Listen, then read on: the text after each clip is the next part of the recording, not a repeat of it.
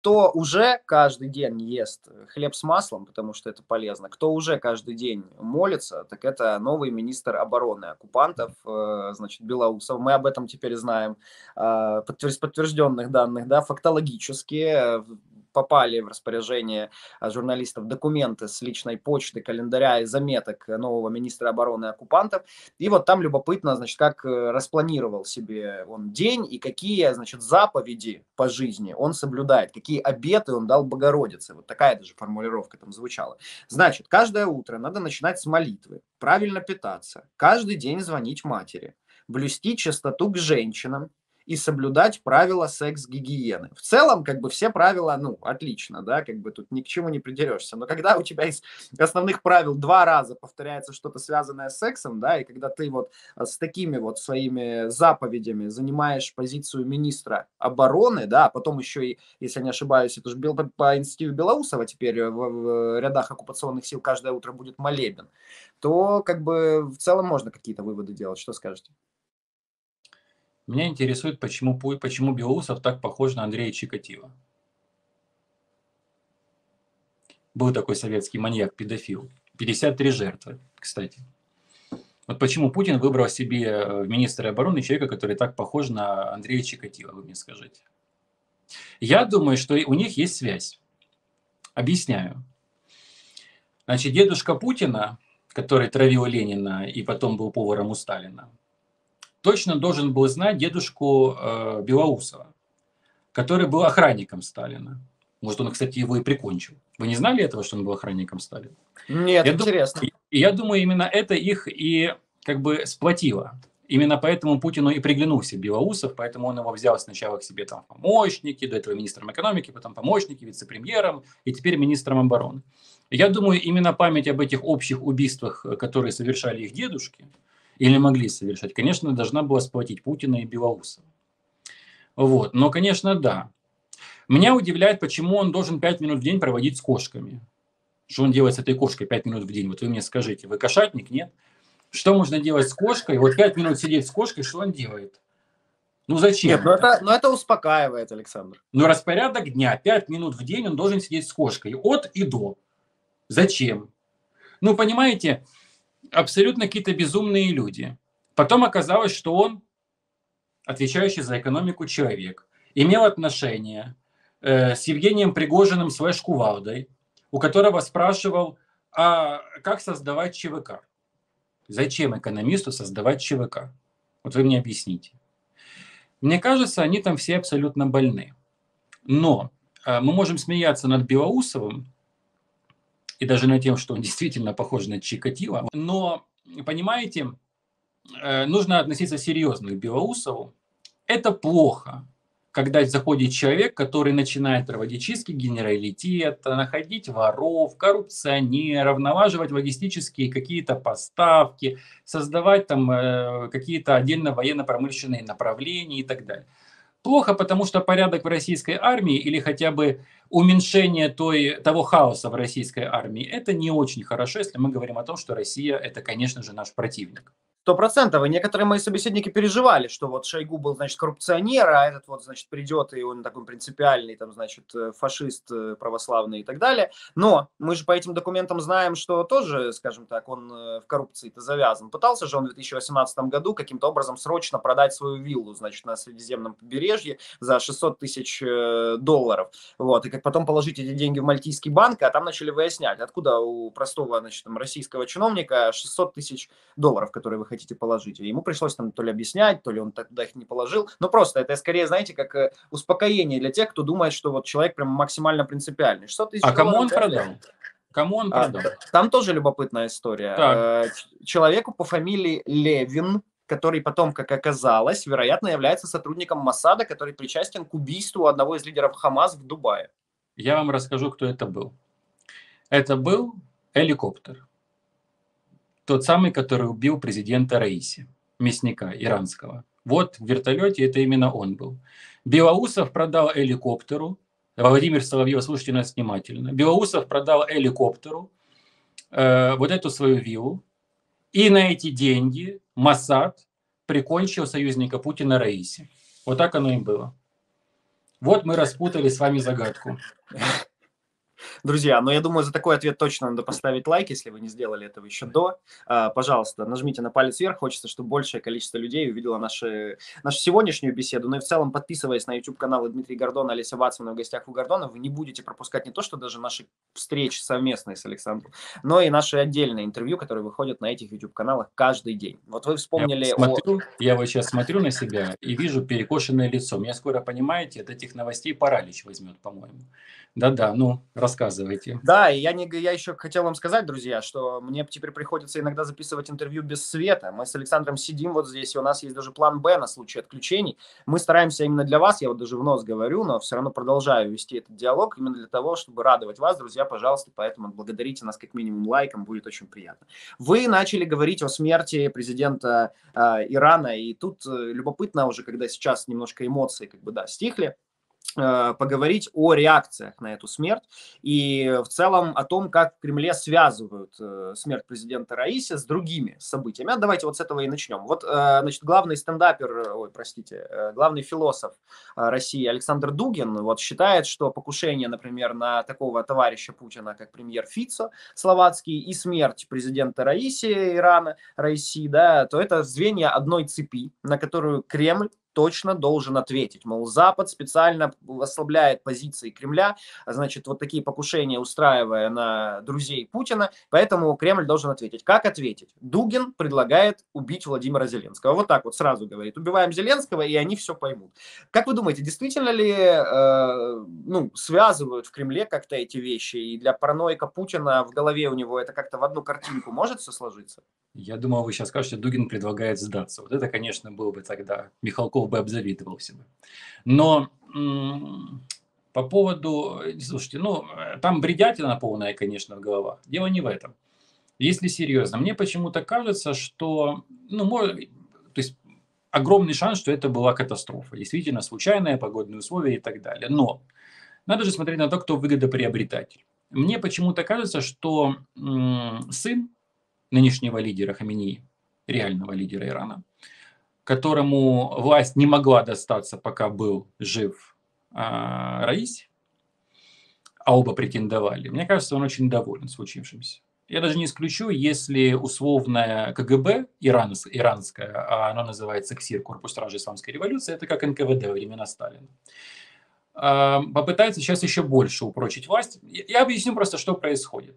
Вот есть условный НКВД, этот КСИР в Иране он пока что под контролем. Ему уже принадлежит практически все, но он пока что еще под контролем. Но я думаю, что он хотел бы, как и здесь, в России, да, если мы говорим о путинской России, вот он бы хотел очень сильно получить всю полноту власти в свои руки. И я не исключаю, что в последующем в Иране мы нечто подобное увидим, когда силовики полностью захватят власть в Иране, и режим будет похож на тот, который есть в России Владимира Путина, но более тяжелый, более жесткий без каких-то там элементов притворства и, и, и, и циничных реляций.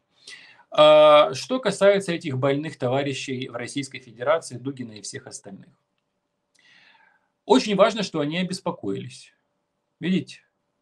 Фица. То есть сразу как, как можно понять, насколько российские спецслужбы близки к тем или иным лидерам, насколько для них они важны.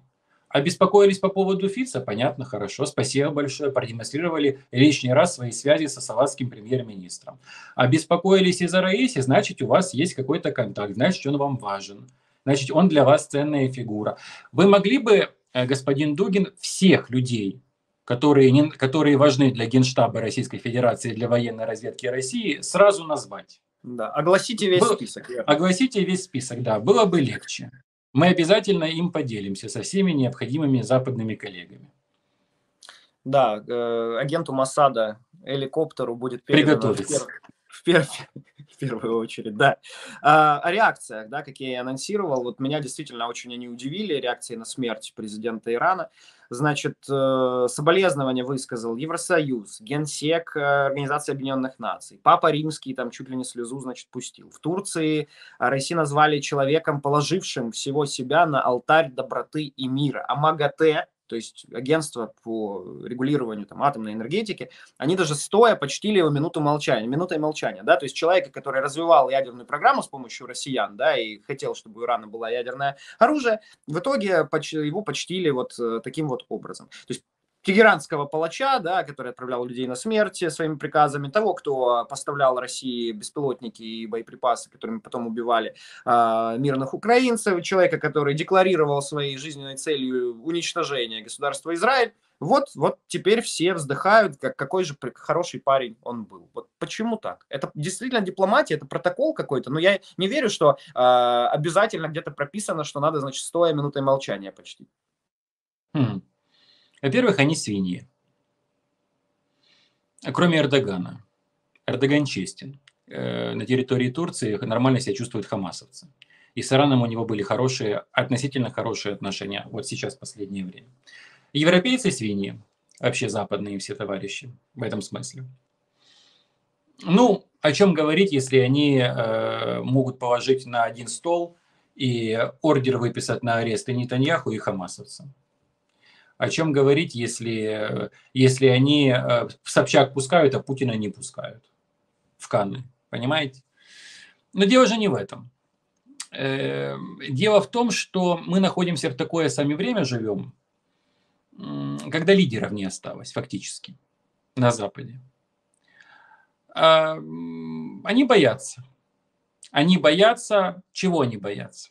Вот когда случилась катастрофа с Раиси на борту вертолета, то американские СМИ, конкретно издание «Политика», написало со ссылкой на источники из Белого дома, что в Белом доме очень сильно боялись после случившегося, случившейся катастрофы, так как предполагали, что начнется Третья мировая война.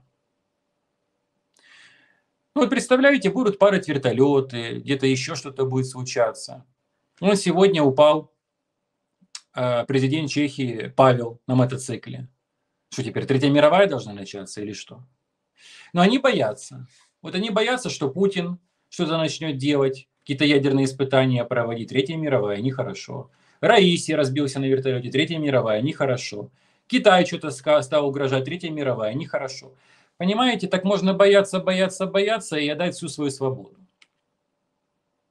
Всю свою свободу, а затем все равно жизнь всем этим диктаторам, на что они и рассчитывают. И, к большому сожалению, наши западные товарищи, несмотря ни на что, невзирая ни на что, продолжают целенаправленно идти по этому абсолютно безумному, бездумному пути. Пути, при котором они снимают трусы и показывают свое заднее место, свой задний проход всем этим диктаторам. Мол, берите, принимайте. Мне и без свободы, в том числе и сексуальной, вполне себе хорошо. Ужас. Что касается Путина. Вот что интересно. Вы видите, как он стал повышать градус. Приехал Лукашенко. Значит, а Лукашенко, теперь он приехал к Лукашенко, стали они там расчехлять эти ядерные все заряды свои, рассказывать, как они куда ударят, кого они ударят, дубиной махать. Путин достал из, из штанов дубину, а, а Лукашенко придерживает ее, и они машут налево и направо ею. Брызжут этой, этой гадостью своей. А теперь он еще, значит, Министерство обороны выпускает отдельный там декрет. Будем увеличивать границы в Балтийском море за счет других стран. В этот же день снимают. Поиграли мышцами. Европейцы напряглись, особенно шведы. Остров Готван, все дела. Дальше Путин отправил антиспутниковое оружие в космос. Все на ушах стоят. Все звездные войны. Ну, дегенеративный император Палпатин начал большую войну. И они на самом деле боятся, понимаете, Леша? Они же боятся этого всего. Я вот представляю себе этот день. Путин просыпается в одно прекрасное утро, подзывает к себе, не знаю кого там, э, Белоусова, еще кого, Лаврова и говорит, знаете, друзья, я принял такое решение, вот мой чемоданчик, вот красная кнопка, плевать я хотел на остальные там какие-то 8-7 человек, они мне подчинятся. Я нажимаю и запускаю ракету на Киев, на Лондон, на Париж, на Вашингтон и на Берлин. Все, я принял решение. Ракета пошла.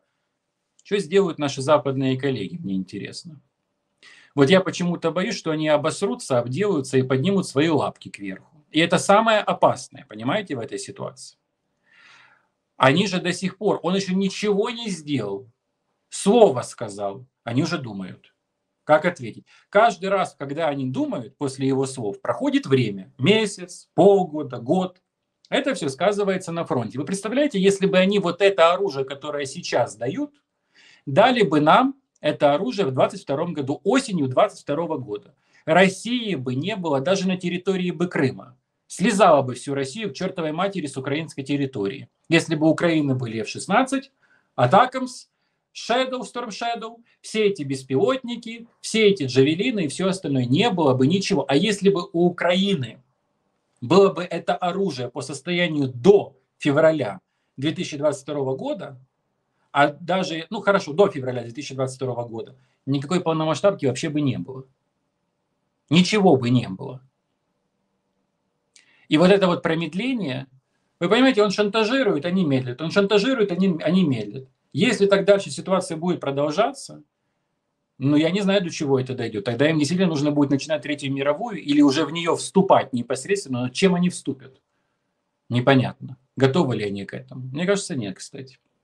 А что вы думаете, друзья? Напишите в комментариях, готовы ли вступить э, наши западные союзники в Третью мировую или пока готовы вступить только в... Э, в Собчак. Ну, Да, да, да, да, вот, или вступить только в Собчак. Э, будет интересно почитать ваши мысли, возможно, обсудим в последующих беседах. Вы, кстати, еще одну очень интересную тему затронули по поводу э, требования прокурора Международного уголовного суда выдать э, ордер на арест и премьера, министра, премьер-министра Израиля и министра обороны Израиля, в то же время там руководителей нескольких э, ватажков, да, как это по-русски, нескольких главарей. да, главарей, главарей Хамас. Кстати, вот, да, сразу возникает вопрос, ну как можно ставить на одни весы и жертву, и как бы палача, причем этот вопрос забавно, что задают не израильтяне, задают хамасовцы. Они страшно недовольны. Говорят, как это ордер и на нас, и на премьер-министра Израиля? Нет, нет, нет, это они говорят, палачи, на нас какой ордер можно выдавать? Но а, тут же очень важно для нас что? Так как Путину тоже был выписан этот ордер. Теперь, если будет выписан ордер еще и Нетаньяху, а если после этого э, на Международный уголовный суд, как грозятся американцы, будут наложены санкции, ну это вообще нивелирует, в общем-то, всю эту идею, потому что, ну, в Кремле будут говорить, так, слушайте, ну какой Международный уголовный суд? На него он санкции наложены, у вас там и Нетаньяху, и Путин, и мало, бог знает, бог весь кто еще. Поэтому вот это опасно в этой ситуации. Да, и Путин будет ликовать, радоваться, прыгать на своей кровати, подпрыгивать от удовольствия, когда это случится. Но понимаете, тут же проблема, она глубже, чем просто Путин, чем просто Хамас. Во-первых, это показало, что вы можете создать любую террористическую организацию, направить, застрелить тысячу людей, и вам ничего не будет. Если бы Израиль ничего не ответил, все бы просто аплодировали и продолжали бы вот эту вот всю чушь, которая проходила на протяжении 10 лет с этим, с этим сектором газа. Только потому, что Израиль ответил, невзирая на противление Запада и США, Поэтому что-то еще и получилось. И даже сейчас Израиль может в состоянии вот уже сейчас уничтожить весь Хамас на территории сектора Газа. Этого не происходит из-за позиции Запада, из-за шантажа. Почему этот возник уголовный суд? Шантаж. Шантаж. Будешь продолжать, в Берлин не приедешь. Арестуют. Как вести дело с человеком, с Нетаньяху? С Путиным нельзя вести дело, правда? Потому что он, э, на него ордер выписан. Международным уголовным судом на арест. Он преступник. Если Нетаньяху преступник, по, по таким же соображениям, с ним нельзя вести дел. А он премьер-министр Израиля. Демокра... Это впервые, это же не диктатор, как Путин. Впервые в истории на демократически избранного премьер-министра на честных выборах, на честных выборах был наложен или поп... есть попытка наложить арест, выписать ордер на задержание, признать преступником. Это первая сторона медали. Вторая, более серьезная и более глубокая. Это вот то, во что мы возвращаемся. Это такие пещерные, конечно, времена средневековые, потому что, понимаете, как они раньше считали? Вот э, еврея необходимо защищать только тогда, когда на него нападают. Просто так еврей не подлежит защите. Зависть всегда мучила их. А теперь уже и защищать не нужно, когда нападают уже неинтересно. Если вы посмотрите на этот суд, э, когда, когда на, на одни весы, на одну сторону Хамас, на другую сторону Нетаньяху и Галант, министра обороны. Если вы посмотрите на признание такими странами, как Испания и Норвегия, Палестины как независимого государства. Тоже шантаж, понимаете, своего рода. Если вы посмотрите на эти ужасы, которые творятся в американских кампусах и университетах в отношении евреев, этот антисемитизм, то мы просто сами увидим ситуацию до Холокоста.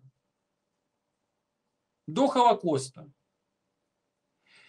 Это все опасно. Опасно тем, что потом и погромы начнутся. Это уже все было. Погромы, Бабий Яр, зоны оседлости, Э, изменение имен, тройки, расстрелы, газовые камеры. Это уже все было. Непонятно только, зачем это все повторять. Что это за косплей такой?